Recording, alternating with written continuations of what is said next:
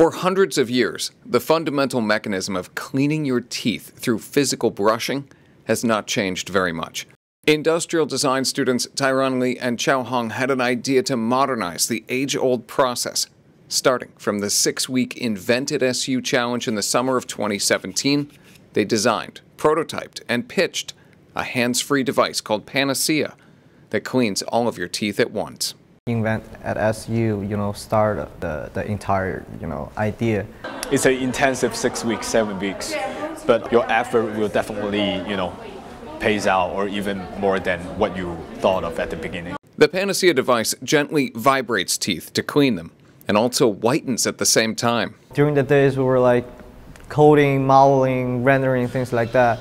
And you know, when we get home, you know, and we start writing the uh, provisional patents by ourselves. Their device did not win the New York City session of Invent at SU, but intrigued several of the judges, including and entrepreneur Mario Mercado. He emailed us, also gave us a phone call, you know, was saying this is a, this is a product has potential, you know, it, it has a great journey experience that you can commercialize it, you know, you can set up your own business. Mercado helped the young inventors build a business plan and helped them make connections with potential investors.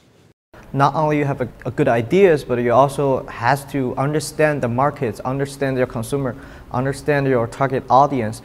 Huang and Li connected with venture capitalists who valued their company at $5 million. That definitely, you know, empower our persistence to and passion to, you know, keep these uh, projects forward.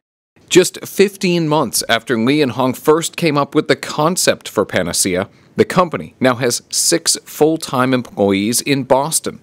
Huang and Li are still full time industrial design students at SU, but travel to Boston nearly every weekend to assist with the company they founded. We use up the, uh, the weekends, you know, you're supposed to relax and, you know, rethink everything.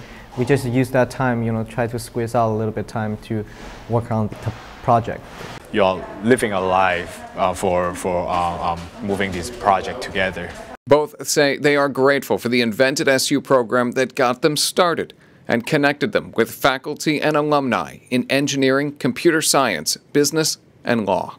Invent at SU is a program that prepares the students to be career ready, give you a final boost of everything you have learned this is a very valuable experience. Being a student at this time and having these resources from many fields and um, SU um, to back us up really let us, you know, minus the focusing on the pure project idea invention.